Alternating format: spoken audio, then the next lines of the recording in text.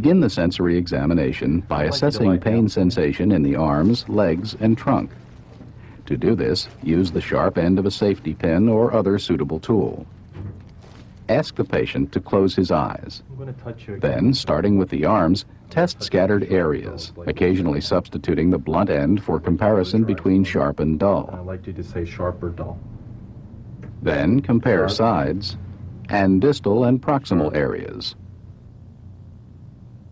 Dull,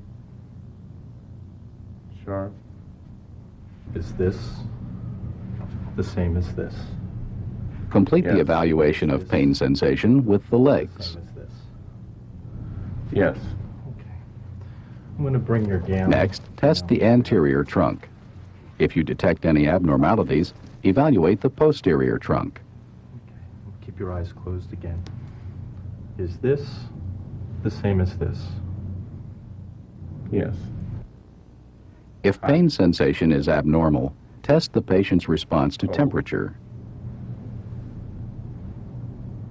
hot, I'd like you to keep your eyes closed, and I'm going to touch you again with the cotton. Say now when you feel it. Assess light Yeah. touch with a cotton wisp.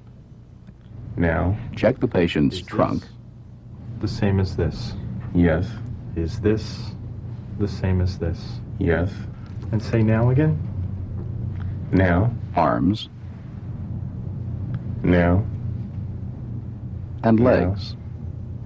now, now, Is Compare this sides The same as this.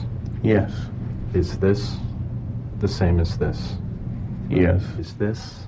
and proximal and distal areas. yes, Is this the same as this?